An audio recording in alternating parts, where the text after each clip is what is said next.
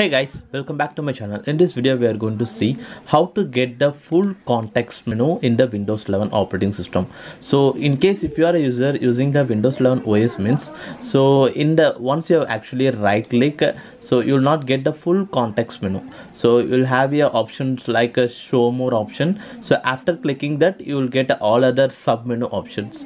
It actually sometimes annoying. So like in case if you are in the file explorer and once you have actually right click so you're not able to find all the options. So you have to then click on the show more option and then only you can able to access some of the options like send to or open with the option like that. So in the windows 11 operating system so it is the one of the annoying feature. So to get the full context menu in the windows 11 operating system so we have to do some of the registry editing. But now let's see on how to get this full context menu in the windows 11 operating system so for that you have to just go to the registry editor. So just go to the run option and uh, type uh, regedit just click on the ok. And after that just go to the just click on the yes and here is the windows uh, registry editor program. So in the registry editor just click on the h key current user.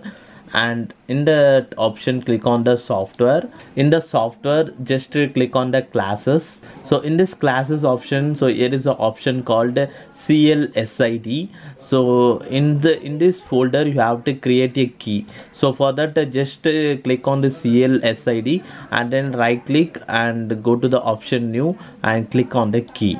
So in the key option so you have to do a specific uh, keyword. So i have given the key in the description. Just copy that and uh, paste in the new key. So i'm just copying that uh, new key. So this is that new key. Just uh, copy and so here just rename this and paste it and hit on the enter. So that's it. Now we have actually created that key. So now in under this folder you have to create a one more key. So just right click this uh, folder and uh, click on the new and key. So here you have to paste uh, another keyword. So i have also given that keyword in the description. So just uh, wait. I also copy that. So this is that key. Just copy that. And here just uh, rename and paste it and hit on the enter. Now in the InprocServer32 on the right side so here is already having a default key. So just double click on that. And after that you don't need to enter any of the value data like that. So you have to simply click on the ok option only. So but before that you will also note that. So in the data section you will have a uh, value called value not set like that. So once you actually clicked the ok so now under the data section there will be nothing will be shown. So you have to just confirm that uh, this under the data section there is no value like that. So that's it. Now just close the registry editor and almost we have done. So now just right click this and click on the refresh. So to check this uh, changes is happens or not just right click any of the uh, file. So but still now there is a option is not coming. So still now the windows 11 uh, default show more option is only showing. So now just go to the task manager or uh, task manager. And here uh, click on the windows explorer so after that uh, just click on the restart so the windows explorer is actually restarted now. Now just uh, try the right clicking. So as you see here there is a no more show more options like that. And the full view all the sub menu options in the context menu has been shown. So also we are just check that in the file manager also. So we are going to the files and uh, i'm just right clicking on any of the file. So as you see here the whole context menu and all the sub menus has been shown.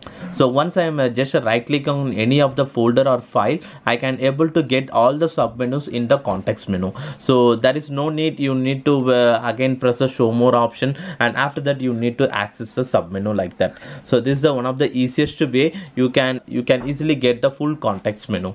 And in case if you don't want uh, like this in case if you want to go back to the previous version of the context menu means so just go to the registry editor and then uh, go to the same location and just delete this InprocServer.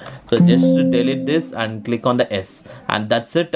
So after that also delete that folder also and just close this.